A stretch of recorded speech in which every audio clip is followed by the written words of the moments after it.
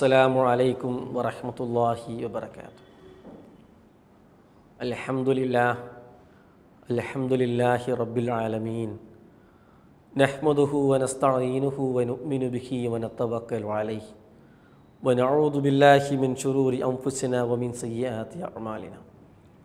من يهد الله فلا مضل له ومن يضلله فلا هادي له. ونشهد أن لا إله إلا الله وحده لا شريك له.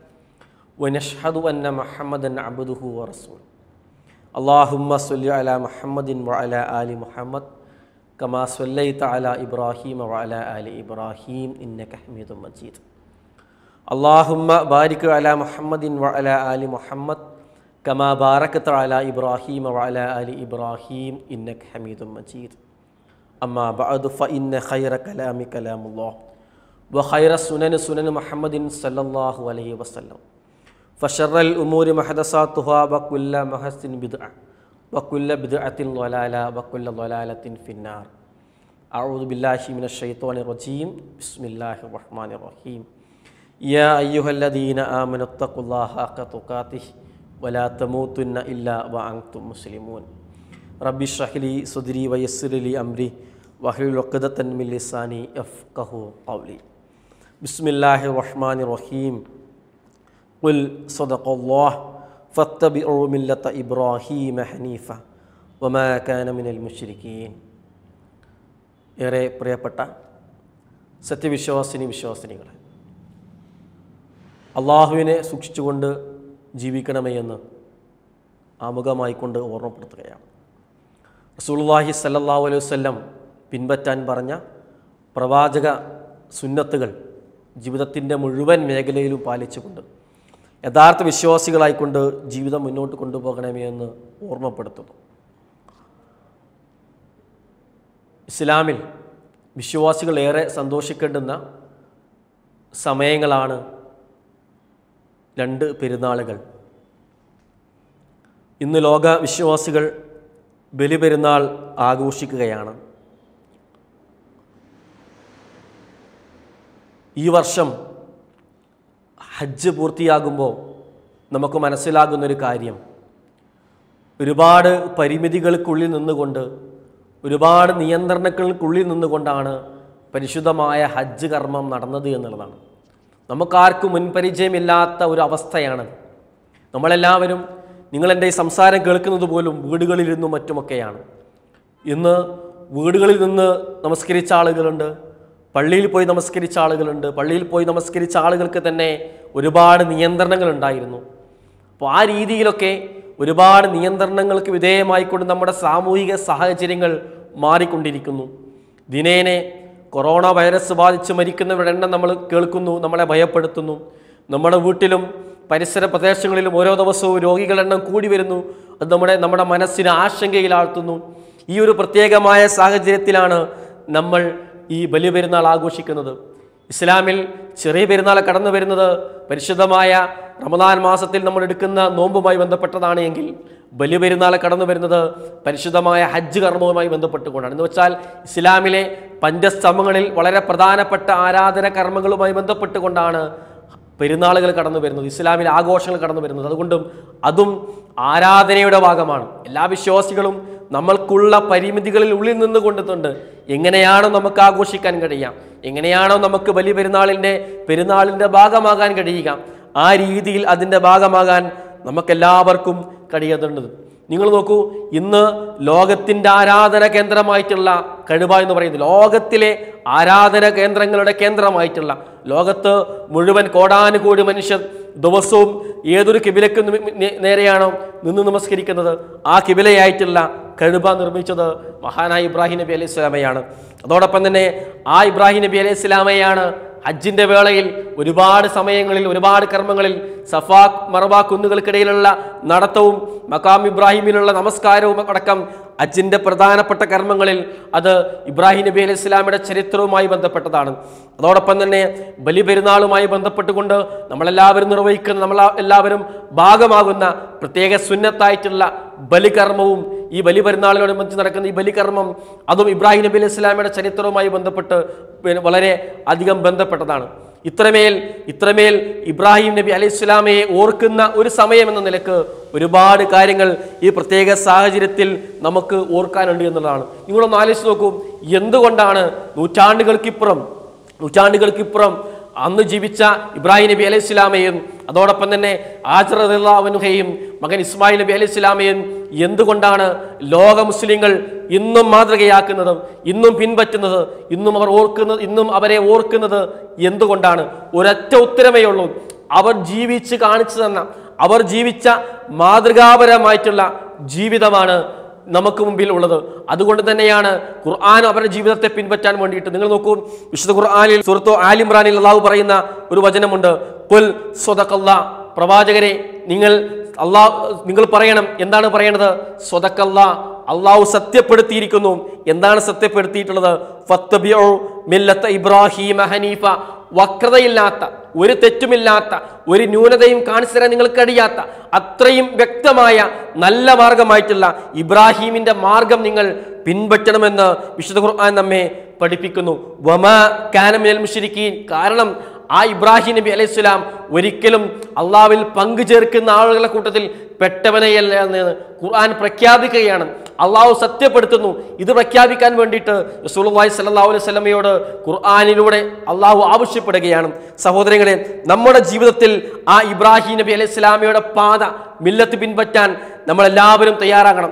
അങ്ങനെ പിൻപറ്റുന്നതോട് കൂടിയിട്ട് നമ്മുടെ ജീവിതത്തിൽ ഒരു അർത്ഥമുണ്ടാവുകയും ഇഹലോകവും പരലോകവും വിജയിക്കാൻ നമുക്ക് കഴി സാധിക്കുകയും ചെയ്യുമെന്നുള്ളതാണ് നിങ്ങൾ നോക്കൂ ഇബ്രാഹിം നബി അലൈഹി സ്വലാമയുടെ ആദർശ ജീവിതം ഒരു വിശ്വാസിയെ സംബന്ധിച്ചിടത്തോളം ആ വിശ്വാസി ഏറ്റവും മർമ്മപ്രധാനമായി കാണേണ്ട ഒന്നാണ് അദ്ദേഹത്തിന്റെ ആ വിശ്വാസിയുടെ ആദർശം എന്ന് പറയുന്നത്. നമ്രൂദ് എന്ന് പറയുന്ന സ്വച്ഛാധിപതിയായിട്ടുള്ള ഭരണാധികാരിക്ക് മുമ്പിൽ നിന്നുകൊണ്ട് പറഞ്ഞല്ലോ. ആ ഭരണാധികാരി പറഞ്ഞു ആരാണ് നിന്റെ റബ്ബ്? എന്റെ റബ്ബ് ജീവിപ്പിക്കുന്നവനും മരിപ്പിക്കണമെന്നവനും ആണെന്ന് പറഞ്ഞു. ആ സമയത്ത് രണ്ടാളുകളെ നമ്രൂദ് വിളിച്ചു. എന്നിട്ടോ ഒരാളെ കൊന്നു ഒരാളെ വെറുതെ പെട്ടു എന്നിട്ട് പറഞ്ഞു ഇതാ ഇബ്രാഹിമേ ഞാൻ ഒരാളെ ജീവിപ്പിച്ചിരിക്കുന്നു ഒരാളെ മരിപ്പിച്ചിരിക്കുന്നു. നീ ഇനി നിന്റെ റബ്ബാരാണ്. ഞാൻ തന്നെയാണ് ഇവിടെ റബ്ബ് എന്ന് നമ്രൂദ് പറഞ്ഞു. ആ സമയത്ത് ആ സമയത്ത് ഇബ്രാഹിം നബി അലി ഇസ്ലാം ആ ഭരണാധികാരിയോട് പറഞ്ഞ മറുപടി എന്താണ്? എന്റെ റബ്ബ് സൂര്യനെ കിഴക്കുതിപ്പിക്കുന്നു പടിഞ്ഞാറ് അസ്തമിപ്പിക്കുന്നു. നിനക്ക് പറ്റുമെങ്കിൽ ആ സൂര്യനെ നീ ഒന്ന് പടിഞ്ഞാറ് ഉദിപ്പിക്കുകയെന്ന് മറുപടി കൊടുത്തു. ഈ രീതിയിൽ സ്വേച്ഛാധിപതിയായ ഭരണാധികാരിക്ക് മുമ്പിൽ പോലും ആദർശം വെട്ടി തുറന്നു പറഞ്ഞ് കൃത്യമായ ആദർശത്തിൽ അടിയുറച്ച് ജീവിച്ച മാതൃകയാണ് ഇബ്രാഹിം നബി അലൈഹി സ്വലാമയ്ക്കുള്ളത് സ്വന്തം പിതാവിനോട് ബിംബ കച്ചവടക്കാരനായിട്ടുള്ള ബിംബത്തെ കൊത്തിയുണ്ടാക്കുന്ന തന്റെ പിതാവിനോട് ചോദിക്കുന്ന വളരെ പ്രസക്തമായിട്ടുള്ള ഒരു ചോദ്യമുണ്ട്. ഇബ്രാഹിം നബി അലൈഹി സ്വലാം ചോദിക്കുകയാണ് വൈദ് വാല ലി അബിഹി? പ്രിയപ്പെട്ട ഉപ്പ ഉപ്പയോട് ചോദിക്കുന്നു യാ അബത് എന്റെ പൊന്നു ഉപ്പ ലിമ നിങ്ങൾ എന്തിനാണ് നിങ്ങൾ ആരാധിച്ചു കൊണ്ടിരിക്കുന്നത് മാല യസ്മ ഒന്നും കേൾക്കാൻ കഴിയാത്ത വലായുബിർ ഒന്നും കാണാൻ കഴിയാത്ത വലായുനി ശൈഅൻ ഉപ്പ നിങ്ങൾക്ക് ഒരു ഉപകാരവും ഒരു ഉപകാരം ചെയ്യാൻ കഴിയാത്ത ഈ ബിംബത്തെ എന്തിനാണ് ഉപ്പ നിങ്ങൾ ആരാധിക്കുന്നത് എന്ന് ഇബ്രാഹിം നബി അലൈഹി സ്വലാം സ്വന്തം ഉപ്പയോട് സ്നേഹത്തോടെ ചോദിക്കുന്നുണ്ട്. എന്ന് വെച്ചാൽ സ്വന്തം ഉപ്പയോട് പോലും അള്ളാഹുവിനെ അല്ലാതെ മറ്റൊന്നിനെയും ആരാധിക്കരുത്. അത് ശിർക്കാണ് എന്ന് വെട്ടിത്തുറന്ന് പറയാൻ ആദർശം കാണിച്ച ആർജവം കാണിച്ചിട്ടുള്ള മഹാനായ ഇബ്രാഹിം നബി അലൈഹി സ്വലാമിന്റെ ജീവിതം ആ ആദർശ ജീവിതം ലോകത്തെ എല്ലാ വിശ്വാസികൾക്കും മാതൃയാക്കാൻ കഴിയുന്ന ഒരു വിശ്വാ ഒരു ജീവിത രീതിയാണ്. അതോടൊപ്പം തന്നെ മകനായിട്ടുള്ള ഒരു ഏറ്റവും നല്ല മകൻ എന്ന നിലയിൽ ആ പിതാവിനോട് ആദർശപരമായി കൊണ്ട് എതിർപ്പുണ്ടായിട്ട് പോലും വിടാൻ പിതാവ് വീട്ടിൽ നിന്ന് ഞാൻ നിന്നെ എറിഞ്ഞുകൊല്ലും നിന്നെ ആട്ടി പുറത്താക്കും എന്നൊക്കെ പറഞ്ഞ സമയത്ത് യാ അബ പൊന്നു ഉപ്പ എന്നല്ലാതെ വേറൊരു പ്രയോഗം നമുക്ക് കാണാൻ കഴിയില്ല. അത്രയും മാന്യനായിക്കൊണ്ട് പെരുമാറുന്ന പിതാവിനെ ഓട് മാന്യമായി പെരുമാറുന്ന നല്ലൊരു മകനായി നമുക്ക് എന്ത് ചെയ്യാൻ പറ്റും? ഇബ്രാഹിം നബി അലൈഹി സ്വലാമിൽ കാണാൻ കഴിയും. അതോടൊപ്പം തന്നെ ഇസ്മായിൽ എന്ന് പറയുന്ന നല്ല മകനെ വളർത്തിയെടുത്ത് ഒരു പ്രവാചകനായി ഇസ്മായിൽ ഇസ്ലാം മാറി. അത്രയും നല്ല മകനെ വളർത്തിയ നല്ലൊരു പിതാവായിരുന്നു. നല്ലൊരു ഭർത്താവായിരുന്നു. ഈ രീതിയിൽ എല്ലാം കൊണ്ടും നമുക്ക് മാതൃകയാക്കാൻ കഴിയുന്ന ഒരു ജീവിതമായിരുന്നു ഇബ്രാഹിം നബി അലൈഹി സ്വലാമയോടത്. അതോടൊപ്പം നിങ്ങൾ നോക്കൂ നമ്രൂദിന്റെ തീ കുണ്ടാരത്തിലേക്ക് വലിച്ചെറിയാൻ പോകുന്ന സമയത്ത് തന്റെ ശരീരത്തിലെ ഓരോ തൊലികളും ഓരോ ഭാഗവും അഗ്നിക്രിയാകുമെന്ന് മനസ്സിലാക്കിയ ഇബ്രാഹിം നബി അലൈഹി ആ കാര്യത്തിൽ പിന്തിരിഞ്ഞില്ല. ആ സമയത്ത് തന്റെ മനസ്സിൽ അടിയുറപ്പിച്ച് പറഞ്ഞൊരു വചനമുണ്ടായിരുന്നു അല്ലാ വനിഅമൽ വക്കീൽ. എന്റെ ജീവിതത്തിൽ എത്ര വലിയ പ്രതിസന്ധികൾ വന്നാലും എത്ര വലിയ ദുരിതം വന്നാലും ഞാൻ എന്റെ റബ്ബിൽ തവക്കുലാക്കിക്കൊണ്ടാണ് എന്റെ എല്ലാ കാര്യം ഏൽപ്പിക്കാൻ എനിക്ക് എന്റെ റബ്ബ് മതി എന്ന അത്യുജ്വലമായിട്ടുള്ള ആദർശത്തിന്റെ വാക്ക് തവക്കുലിന്റെ വാക്ക് മനസ്സിൽ ഉറപ്പിച്ചു. അങ്ങനെ അള്ളാഹുവിൽ തവക്കുലാക്കിക്കൊണ്ട് അതിനെ നേരിട്ട സമയത്ത് അഗ്നിയെ കത്തിജ്വലിക്കുന്ന തീജ്വാലയെ തണുപ്പാക്കി മാറ്റി അള്ളാഹു ഇബ്രാഹിം നബി അലൈഹി സ്വലാമെ രക്ഷപ്പെടുത്തി. സഹോദരങ്ങളെ ജീവിതത്തിൽ നമ്മൾ പ്രതീക്ഷിക്കാതെ കടന്നു വരുന്ന രോഗങ്ങളാകട്ടെ സാമ്പത്തിക പ്രതിസന്ധികളാകട്ടെ സാമൂഹിക പ്രതിസന്ധികളാകട്ടെ എത്ര വലിയ ദുരിതങ്ങളും പ്രതിസന്ധികളും പ്രയാസങ്ങളും ജീവിതത്തിലേക്ക് കടന്നു വരുന്ന സമയത്ത് ഇബ്രാഹിം നബി അലൈഹി സ്വലാമയെ തീക്കുണ്ടാരത്തിൽ നിന്ന് തീയെ തണുപ്പാക്കി മാറ്റി അതേ റബ്ബ് തന്നെയാണ് എന്റെയും നിങ്ങളുടെ റബ്ബ് എന്ന ചിന്തയിൽ നിന്ന് ആ ഇബ്രാഹിം നബി അലൈഹി സ്വലാമെ തീ കുണ്ടാരത്തിന് രക്ഷപ്പെടുത്തി അതേ അള്ളാഹുവിന് എന്നെ ഞാൻ അനുഭവിക്കുന്ന മാനസിക പ്രയാസത്തിൽ നിന്ന് കുടുംബ പ്രശ്നത്തിൽ നിന്ന് ടെൻഷനിൽ നിന്ന് സാമ്പത്തിക പ്രതിസന്ധിയിൽ നിന്ന് ജോലിയിലെ പ്രശ്നങ്ങളിൽ നിന്ന് കുടുംബ പ്രശ്നങ്ങളിൽ നിന്ന് അതോടൊപ്പം തന്നെ സാമൂഹിക പ്രശ്നങ്ങളിൽ നിന്ന് രോഗത്തിൽ നിന്ന് കടത്തിൽ നിന്ന് എല്ലാ പ്രതിസന്ധികളും തരണം ചെയ്യാൻ എന്റെ റബ്ബ് എന്നെ പ്രാപ്തനാക്കും.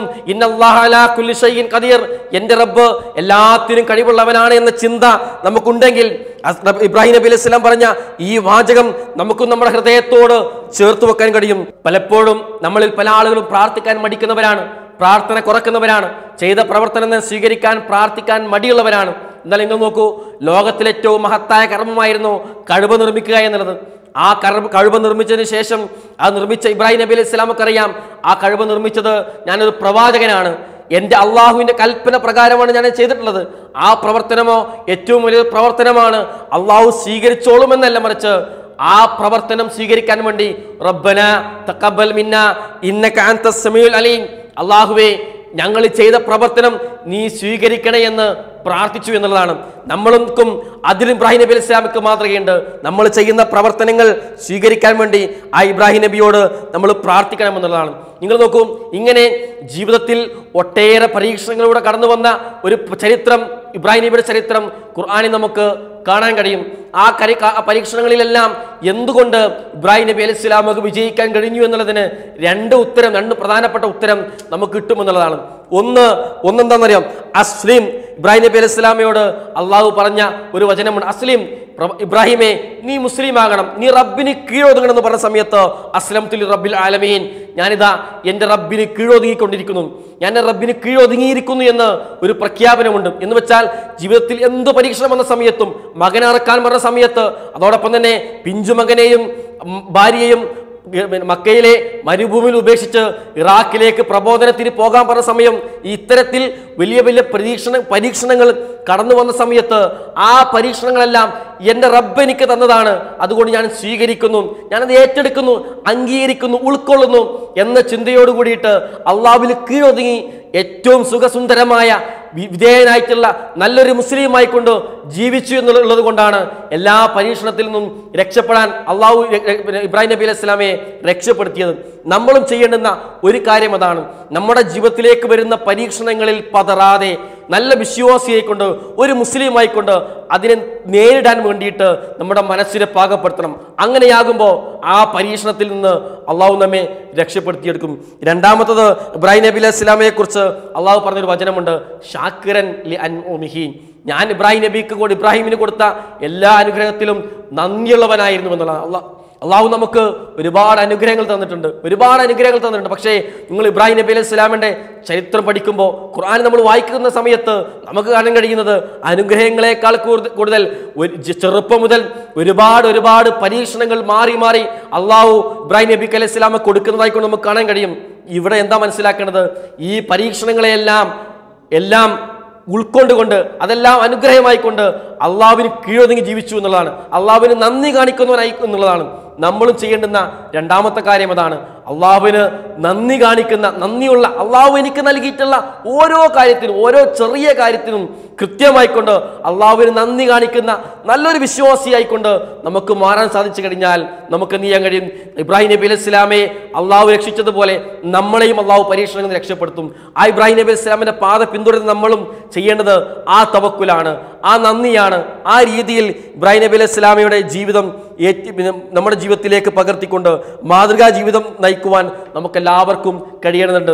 അങ്ങനെയാകുമ്പോൾ ഇപ്പോൾ നമ്മൾ നേരിട്ടുകൊണ്ടിരിക്കുന്ന ഒരുപാട് പ്രതിസന്ധികൾ പ്രയാസങ്ങൾ ഭയപ്പാടുകൾ ആശങ്കകൾ ദുരിതം നിറഞ്ഞ ജീവിതസ്ഥിതികൾ എല്ലാത്തിലും മാറാൻ അള്ളാഹുവിന്റെ രക്ഷയും സമാധാനം നമുക്ക് ലഭിക്കാൻ നമുക്ക് എന്ത് ചെയ്യും നമുക്ക് സാധിക്കും. ആ രീതിയിലുള്ള ജീവിതം ജീവിതം ചിട്ടപ്പെടുത്തിയെടുക്കാൻ നമുക്ക് എല്ലാവർക്കും സാധിക്കേണ്ടതുണ്ട്. അള്ളാഹു നമ്മെ അനുഗ്രഹിക്കുമാറാവട്ടെ.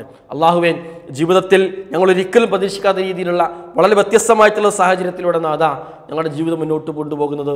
ഞങ്ങളുടെ നാട്ടിലും ഞങ്ങളുടെ വീട്ടിലും പരിസരങ്ങളിലെല്ലാം കോവിഡ് മൂലമുള്ള ദുരിതങ്ങൾ ഓരോ ദിവസവും ഏറിക്കൊണ്ടിരിക്കുകയാണ് റഹ്മാനെ ഈ മഹാമാരിയിൽ നിന്ന് ഞങ്ങളെല്ലാവരെയും നീ കത്തിരീക്ഷിക്കണം. റഹ്മാനെ അള്ളാഹുവെ ലോകത്തിന്റെ വിവിധ കോണുകളിൽ ഈ രോഗവുമായി കൊണ്ട് പ്രയാസപ്പെടുന്ന ഒരുപാട് സഹോദരങ്ങൾ സഹോദരന്മാരുണ്ട് അതാ എല്ലാവരുടെ പ്രയാസങ്ങളും നീ തീർത്തു കൊടുക്കണം. റഹ്മാനൻ അള്ളാഹുവെ ഇതുമൂലം ഇതുമൂലം ഒരുപാട് കുടുംബങ്ങൾ ഒരുപാട് പ്രയാസം അനുഭവിക്കുന്നു റഹ്മാനെ.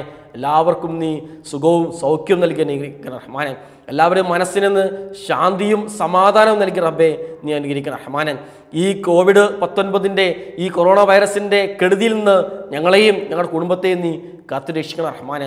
അള്ളാഹുവേൻ ഞങ്ങൾ ചെയ്തു പോയി ഞങ്ങൾ ചെയ്തു പോയിട്ടുള്ള എല്ലാ ചെറുതും വലുതുമായിട്ടുള്ള എല്ലാ തെറ്റുകളും നീ പുറത്തു മാപ്പാക്കുന്ന റഹ്മാനൻ അള്ളാഹുവേ ഞങ്ങളിന്ന് മരണപ്പെട്ടു പോയിട്ടുള്ള ഞങ്ങളുടെ കുടുംബക്കാർ സഹോദരങ്ങൾ നാട്ടുകാർ ഞങ്ങളുടെ ഉറ്റ സുഹൃത്തുക്കൾ ഒരുപാട് ആളുകൾ അതാ എല്ലാവർക്കും നീ മാഫർത്തും റഹമത്തും നൽകി അനുഗ്രഹിക്കണം. റഹ്മാനെ റഹ്മാൻ റഹീമ തമ്പുരാനെ ജീവിതത്തിൽ ഏത് സമയത്ത് എവിടെ വെച്ചിട്ട് ഏത് രീതിയിലുള്ള മരണമാണ് ഞങ്ങൾക്ക് നിശ്ചയിച്ചതെങ്കിലും വിശ്വാസിയായിക്കൊണ്ടുള്ള വിശ്വാസിയായിക്കൊണ്ടുള്ള മരണം നൽകി അള്ളാഹുവേ ഞങ്ങൾ നീ അനുഗ്രഹിക്കണം. റഹ്മാനെ മരണാനന്തര ജീവിതത്തിൽ സുഖവും സൗഖ്യവും നൽകി നാഥ നീ ഞങ്ങൾ അനുഗ്രഹിക്കണം. റഹ്മാനെ റബ്ബന തക്കബൽ ബിന്ന ദുആന ഇന്നക ഇന്നക ആമീൻ. ബിറഹ്മതിക യാ അസ്സാം റഹീമീൻ.